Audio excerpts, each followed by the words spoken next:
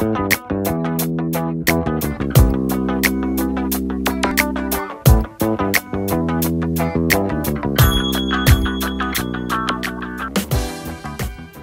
Mummy Has Breast Cancer. It's a book that's here.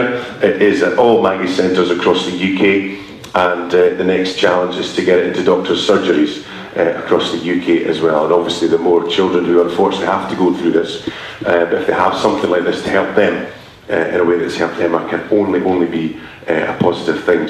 So Emma, you've written this book. What's the purpose of your book? I think just to help people so that they don't have to go through what I did. There's nothing that you can really do to take away like the fear or the pain that you're going through when something like this happens. But if there is anything to like reduce it, it's always going to make you feel 110% better. It reads, Hi, my name is Emma. I'm now 13, but when I was 12, my mum told my little sister and I that she had breast cancer. Do you know how many websites come up with when you Google breast cancer? It's quite scary. So are all the big ones. There were no publications for teenagers to help them understand what's happening to their mummy.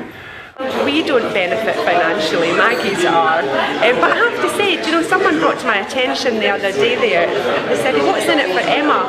And I said, well, nothing. Emma hasn't asked for anything at all. And that makes me even more proud because Emma's doing it for other people. I understand you're going to Lapland.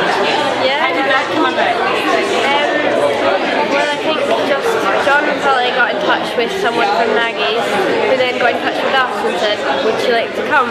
And I think we do it every year and have done for 20 years. I'm just so happy to be going, and it's just going to be so amazing. So the 15th of December, Emma will be flying with us to Northern Finland with children who have had cancer and children who sadly have not been, have lost parents and things like that. But we're trying to make it a very, very special day because the most important person you will see is Santa Claus. There's a saying that, uh, that goes around that everybody has a book in them, uh, but uh, get, get that done by the time you're 13 is actually quite remarkable.